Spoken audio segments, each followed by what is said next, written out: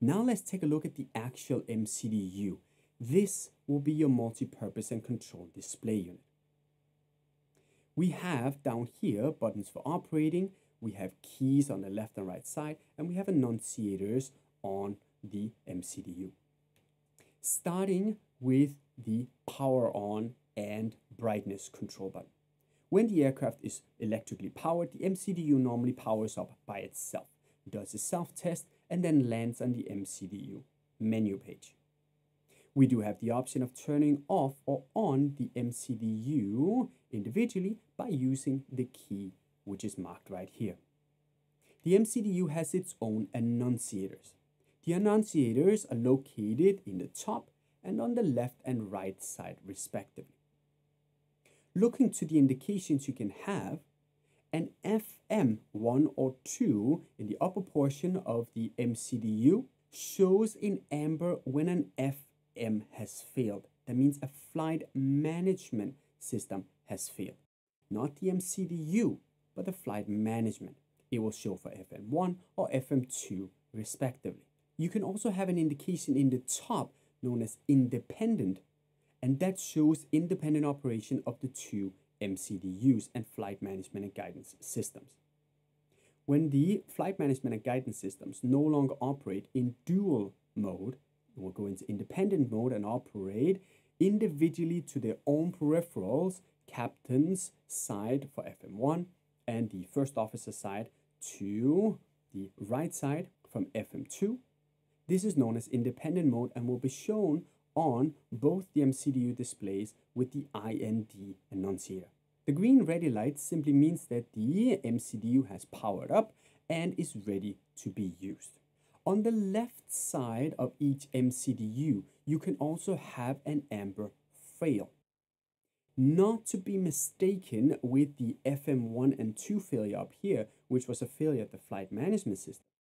This comes on on the respective MCDU if the MCDU itself has failed. The FM in white on the left side here illustrates to the pilots that there is an important message from the flight management system, but that the selected management system is not the primary for supplying the information.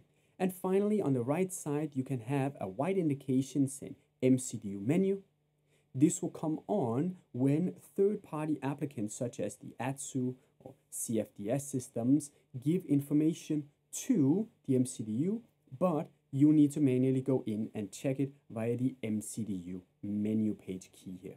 So that was the annunciator panel. When looking at the screen itself, the screen is operated by left and right line select keys. We call them LSK line select keys. The screen itself is divided into portions. The very top is the title field, usually indicating to the pilot what page you're on. Then you have, for the left and for the right side respectively, two lines of information for each key. It provides a total of 12 lines for six data entries. Each line right here is operated by its respective line select key. You can see here that label number one is operated by line select key number one and the information that goes with it is the left data one.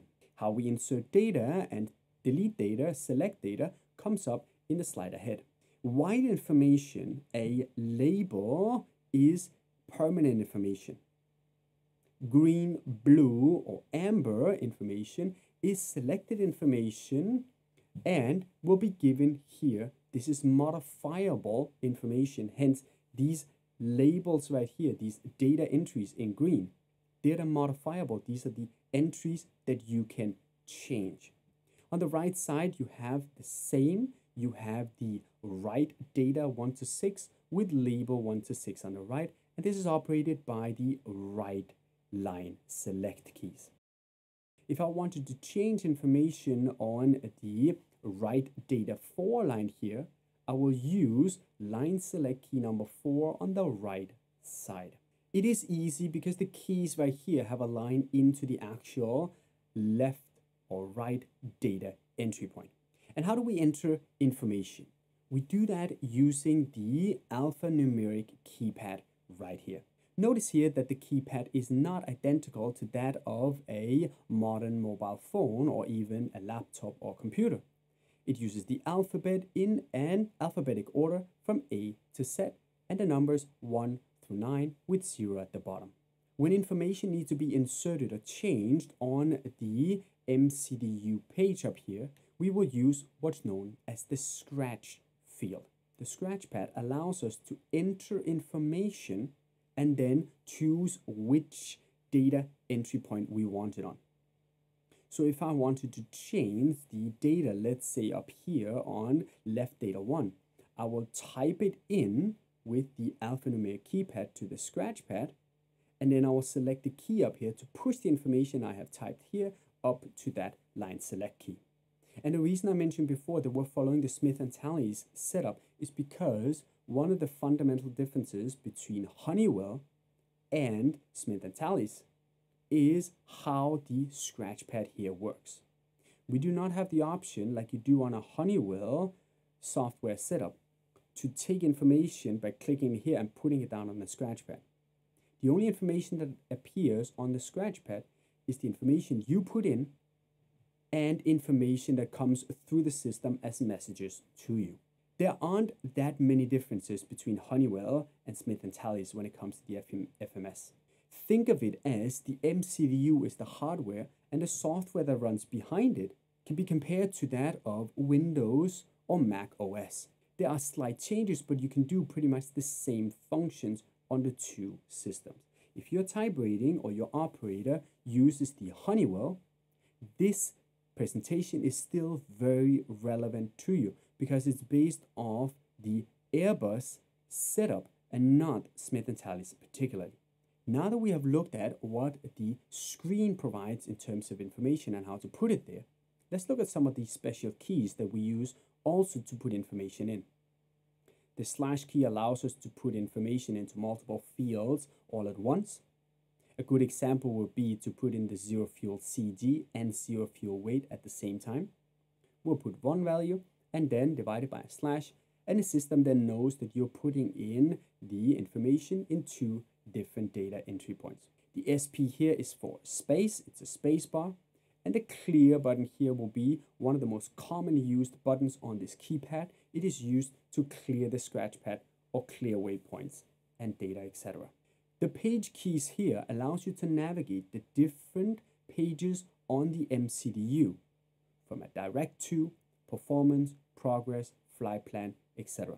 As we go through the setups, you will be using these in a specific sequence, but the pilot can always operate them whenever he or she needs to see a specific page. Certain pages require you to scroll through information as there is more information that can be shown on a simple single display here, such as the init pages, the performance pages, or simply the flight plan. To do so, we operate the slew keys here, or the key arrows, to left or right, or up and down. There will be an indication up in the corner here to show you if it's up or down, or left or right, or if there are more pages to be shown. I'll point this out when we do the setup in a little bit. The MCDU menu page here always brings you back to the main menu. Here we can enter into the flight management and guidance computer. This is what we will be using to set up the MCDU but this is also where you will enter into third-party applications and systems such as ACARS, CFDS, and so on. The ATSU function is a data link, as I mentioned, which allows the crew to receive or send limited data depending on the version that the system has installed. This is not covered in this presentation, but should be familiar to the pilot prior to operational use on the line. Finally, the airport key right here, this is a shortcut key to allow you to jump through, for example, a long flight plan. It allows you to jump from the departure to the approach, and then if you have an alternate, from the alternate and to the arrival for that alternate.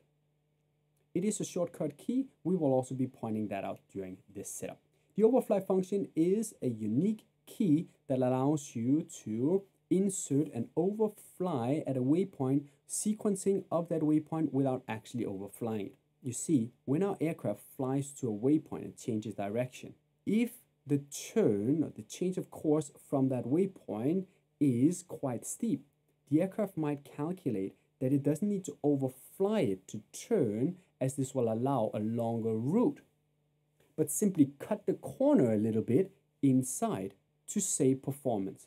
But you might be required to overfly that point prior to turning. And if this is a requirement, then you can use the overfly function here to tell the aircraft to do so. This was a short video on a specific topic.